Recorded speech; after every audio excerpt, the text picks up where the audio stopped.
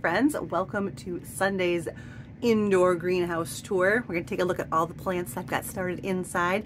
Um, if you are new here, this is the Polish Potager and I am Stephanie. I'm gardening in Michigan in gardening zone 6A and I tentatively have a last frost date of the first week of May.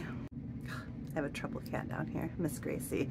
Um, that's something else to know about me if you've never been here before. I have got two cats and two dogs in my house along with a bunny. The bunny does not eat my plants. The cats and the dogs do try to eat my plants. So currently we are engaged in a war and we've each won some battles, but I'm determined to win the entire war. Um, I keep moving plants around and adding doors and barriers so they stop. Next year, mama needs a greenhouse. So I have got an indoor grow room down here, which is technically a spare bedroom that I have added lights to here and here. And this is where I started all my seeds. I've moved seeds upstairs into my dining room and into my bedroom upstairs in an effort to keep them safe from the dogs and to take them away from the warm environment down here to try and get them started to harden off. So we'll start down here, we'll move upstairs to the dining room, and we'll end with the plants upstairs in the upstairs bedroom. We'll start on this side today. Um, I have moved things around many times since I started their seeds, so they're no longer in any kind of specific order. I do try and keep plants of the same size together, so their light requirements and their water requirements are about the same. So these ones you can tell are more established that way, thinning out down this way. And when we get over to the other rack, those are all newer seedlings. So let's get a little closer here and um, I'll start with this front row right here. These are some Zloty Lawn Chamomile that I'm going to, put. this rack right here are things I'm potting up for sale. So these are extra chamomile. I've got extra hyssop and an extra scarlet kale cup and then some Brunswick cabbage that's left. So this is kind of my working corner. So I'm working on these ones right now.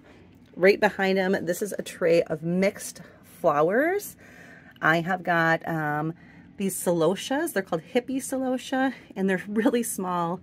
I don't know how it's going, but the ones next to them are stock. And in the back, that's Sweet William. It's a double blend. I have Sweet William outside, but it looks very different than this, so I'm excited to see how those look. Right here, I've got Strawberry Gomphrena. This is something that I impulse bought when I was looking at seeds because it was so pretty in the catalog. I've never grown Gomphrena before but it looks really pretty. My butterfly milkweed, I have tried this from seed many times and this is by far the best year. This will have a nice, really pretty orange flower on it and be great for the butterflies, the monarch butterfly in particular in my area. And this butterfly milkweed is a native plant to my area, which is good for the bugs and butterflies. I've got Dara back here. Dara is in the carrot family. It's actually a flowering carrot. It's really, really pretty. If I can find a picture of it, I'll insert it here.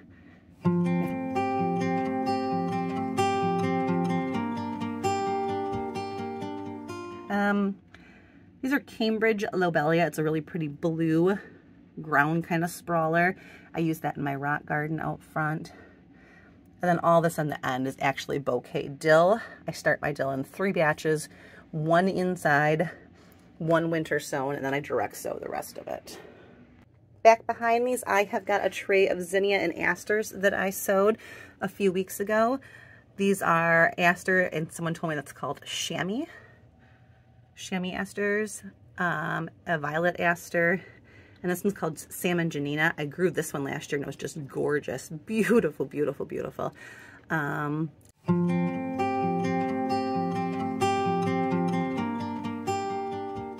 and then these are all the zinnias. They're all pretty big except for this one right here, and that's on purpose. This is a Profusion double. They grow smaller. The rest of these are like Benary Giants, Northern Lights. I've got the Queens um, over here, the Queenie Lemon Peach, which is new this year, orange and red, the Queenie Limes. Very excited about all of these guys. Back over here, I've got some random things that I've kind of needed a home. I've got some of these Senate marigolds, which are getting huge, and I should not have started this early, but they are a really pretty yellow, and I wanted to try those this year. I've got spotted bee balm, and I've got this roseberry daiquiri agastache, and these need to be up potted very much so. So they're kind of in my work area.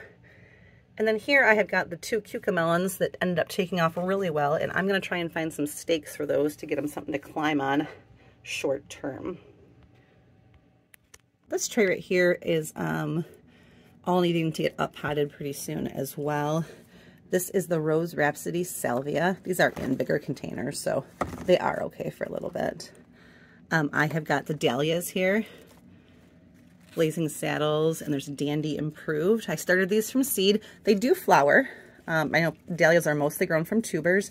I'm bad at saving my tubers from year to year, and I'm too cheap to buy new ones every year. So I do the kinds I can do from seed, which are admittedly much smaller than the big, beautiful dahlias, but they work for me.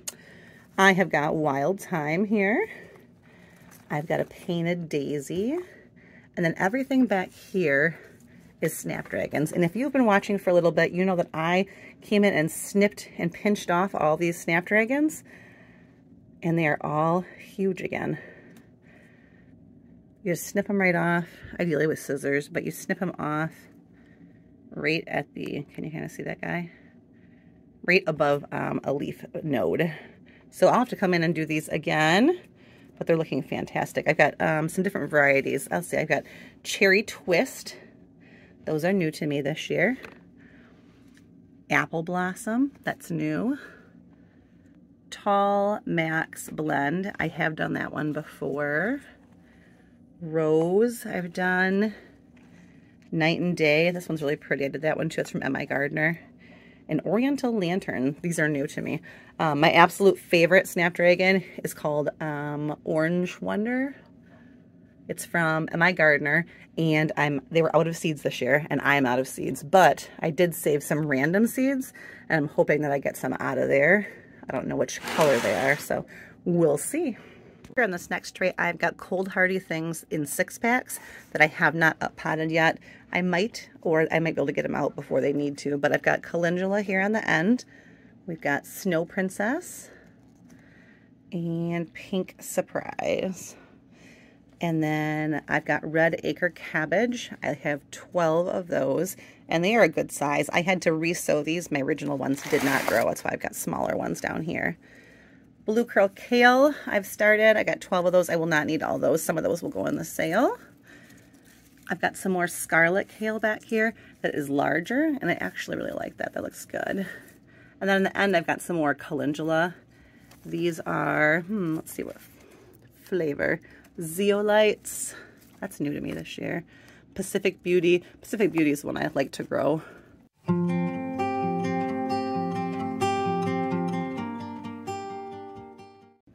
And this one says My Yellow. I saved a really pretty yellow color last year that I wanted to make sure I could try and grow again. So those are there. Next door here, what's on the end here? This is a mint mix That's why it's looking crazy. I was wondering what that was. that might need to get separated into a couple different pots. I've got some lettuce right here. This is that Tom Thumb lettuce. Doesn't that look good? It does need to get outside, but it should be outside pretty soon. And then I have these, these big fluffy ones. They're kind of, I don't know if you can translate it, but they're kind of furry. These are hollyhocks. They're biennials. All of these. I've got carnival and I have got Chater's. I thought I had one more. Watchman. Hmm, okay. Right here, these are incredible swirl coreopsis. I've got two cups of those.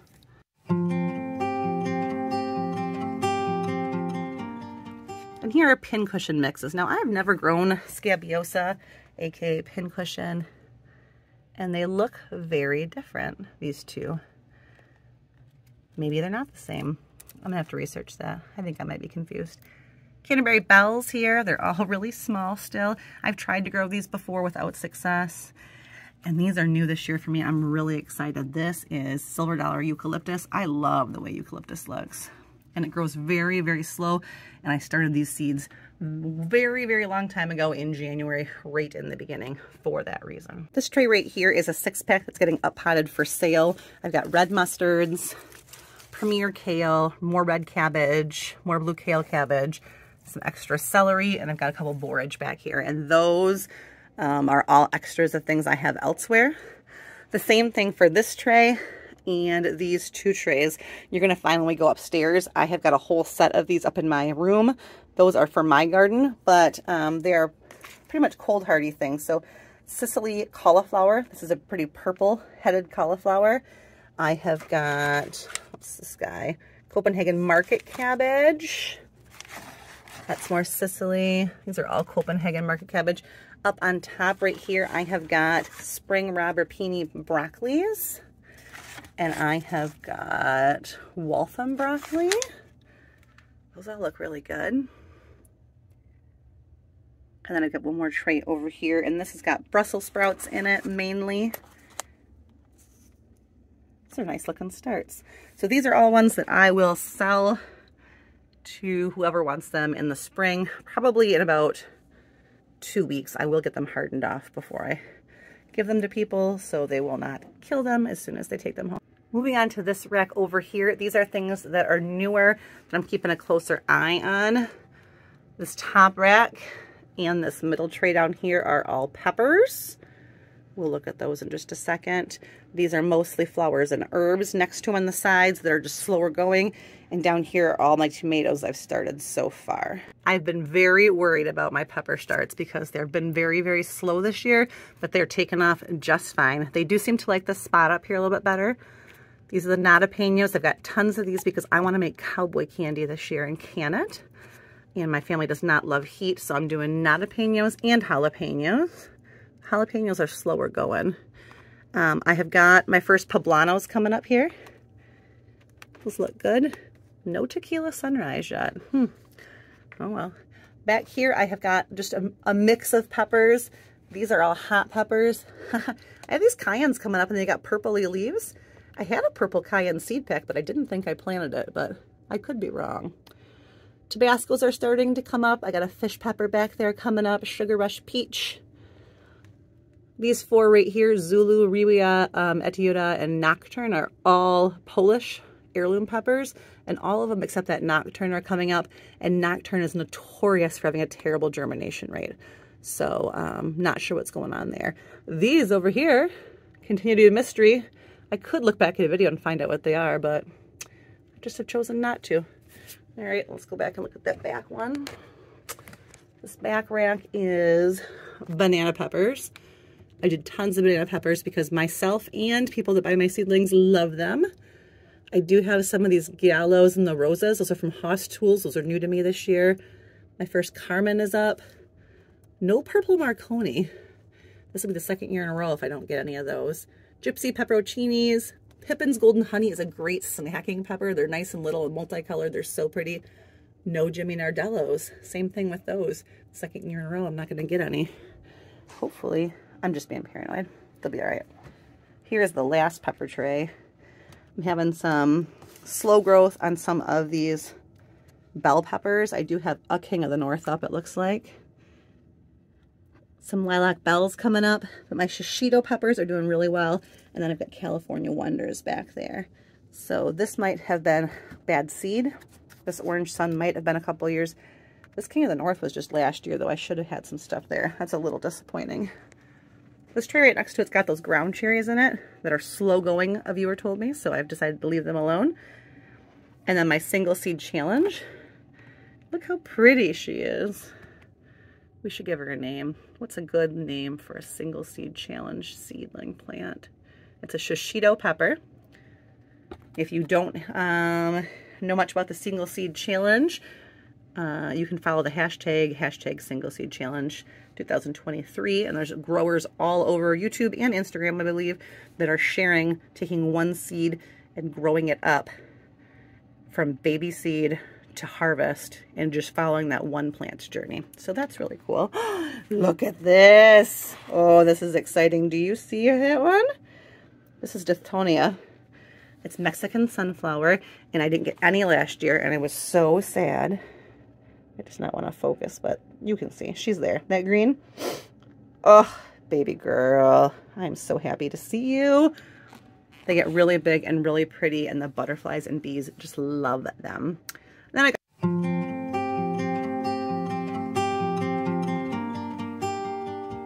got a whole tray of um, basil back here.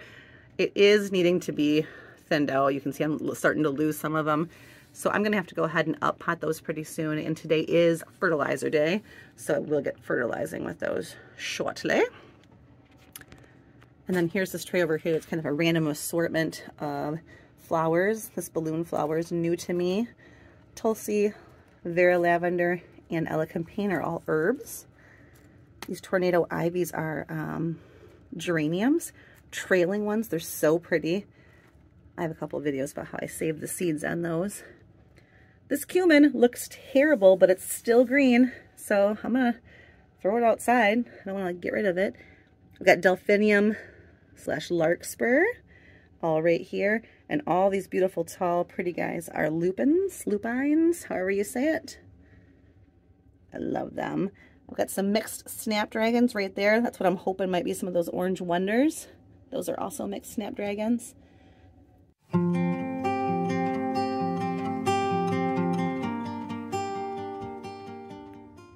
Not, I'll just have to get them next year. It'll be all right.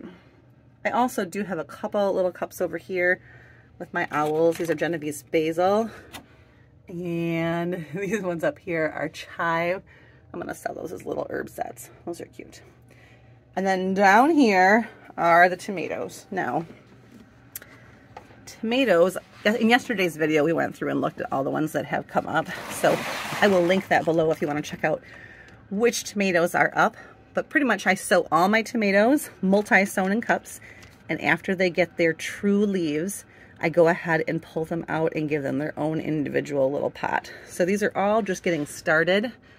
These four over here and this tray are all heirloom slicers. And this is the tray we planted yesterday. These are production paste varieties that I'm hoping to get um, a lot of good meaty tomatoes out for sauces and uh, stewed tomatoes and for salsa making.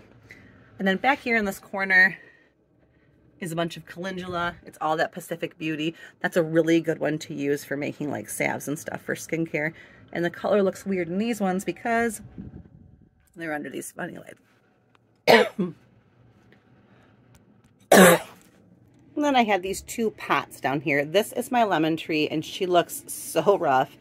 And this is my own fault. I had her under the lights doing really well. She had plenty of new leaves. Oh goodness. And then I moved her up next to that window on that shelf right there.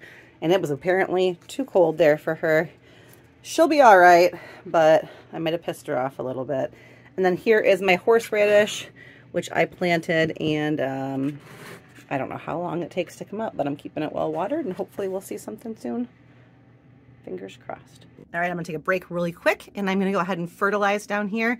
Um, I do have a video about that that I'll link to if you want to check it out, but I use um, Neptune's Harvest fish and seaweed fertilizer.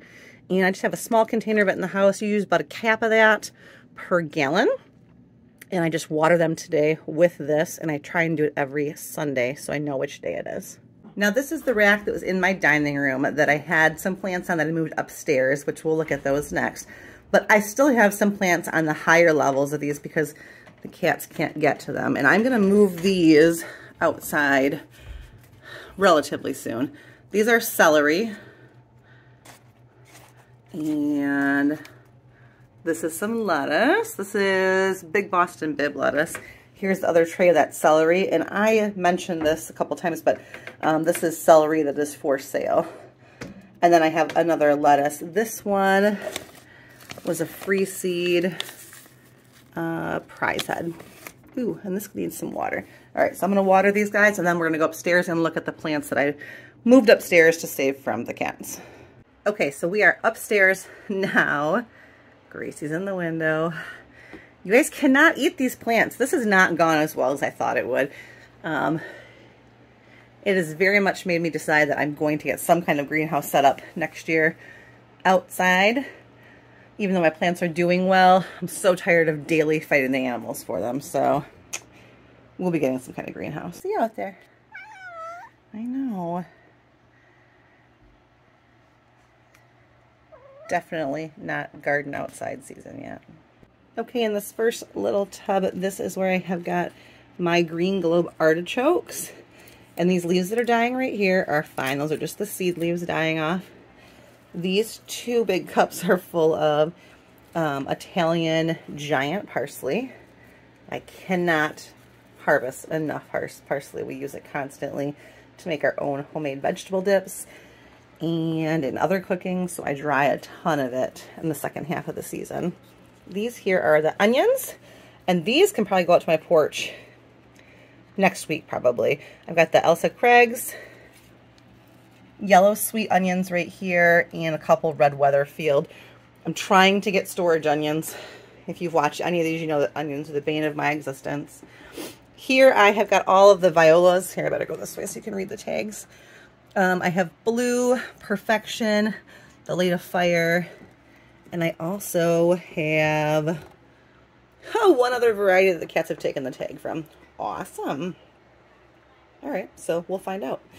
Um, this next tray right here, let's see, I've got my Russian tarragon. That looks really good. This is a really nice sturdy plant. It's already getting a little woody. I've got some marjoram back here. These are parsleys. These are just the single regular parsley. It's the second thing I sowed. Here, back here are my columbines. Mountain mint. That looks good too. Nice. I do have some cilantro back here that can handle the cold. Garlic chives. The scarlet kale is so pretty. Ugh, it's pretty. Hyssop chive, these Lottie lon. these really need to be thinned. I just want to get them outside as fast as I can here. These are the Marguerite chamomile. These are the ones with the um, white flowers, and these have the yellow flowers. Over here in the end is the three curl parsley. This is the parsley that gets really, really curly looking. You can see it starting to take shape a little bit. It's not going to have the flat leaves See those? Aren't they pretty? Oh, so cool. I got a little parsley over here and this French rosemary is doing well. And you can see all these are leaning this way because the window's this way. I'm going to flip them all around today after I water them. And I'll do that every couple days. This tray back here is, let's see here, we got Brunswick cabbage, Copenhagen cabbage, kales, this really pretty Sicily cauliflower. This is the purple one. Some ornamental fringed kale. Back behind it, I've got mustards. This is the giant red mustard is what it's going to be. These huge things right here on the end are borage. I've got two of those. I have got some Brussels Right here I have got some Swiss chard. It's the Bright Lights version. I love all the different colored stems I get with that. And then I've got the rapini broccolis all right here. Back in the corner, these are all of my celery. And I've got some broccoli here. So these guys are all doing really well. I'm going to go ahead and water them, flip them around, and, um, and they'll get some better sun that way. Okay, so that is all the plants in my house right now. The plan is to move them to my covered front porch with a little bit of plastic, um, giving them some wind cover and a little bit of heat next to the house. Um, and I'm going to do that as soon as temps kind of stabilize where they're not dropping below 25 at night. Um, and I'm not doing this with all of my plants. Obviously, my tomatoes and peppers cannot go outside right now. Many of the flowers cannot. But cold hardy plants that have been hardened off, like the ones up in my room with my window open, those ones can start going out as soon as I can um, get the temperatures, like I said, to stabilize about 25 degrees because I'm going to put them next to my house so they'll have the heat from my house and then I'm going to have a plastic covering to trap that heat during the night and um, and they're going to be protected from wind and rain and all the elements because they're going to be under that covered porch. So we're going to try that you might see another failure video in the future, but that's what we're gonna do. Right now it's looking like maybe another week and a half, so about 10 days. Until then, they're all living in here.